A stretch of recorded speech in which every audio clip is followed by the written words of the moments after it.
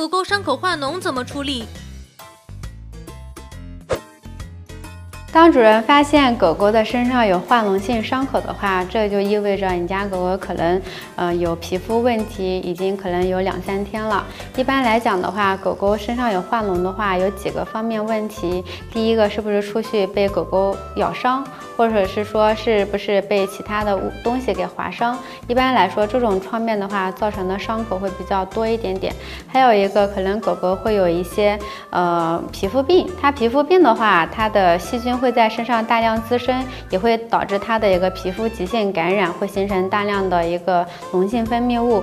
如果发现狗狗身上有脓性分泌物比较多的话，第一个，如果是说不方便去医院，可以自己在家用双氧水给它做清洗。当然了，双氧水洗完之后的话，一定要用生理盐水去给它洗干净，然后去给它用一些就是抗生素的药膏，或者是说是喷剂去给它去做一些治疗。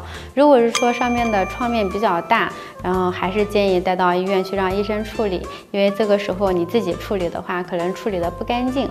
有些主人的话，如果发现有创面比较大的话，可能也不敢处理，所以还是建议主人到医院让专业的医生来处理这种事情。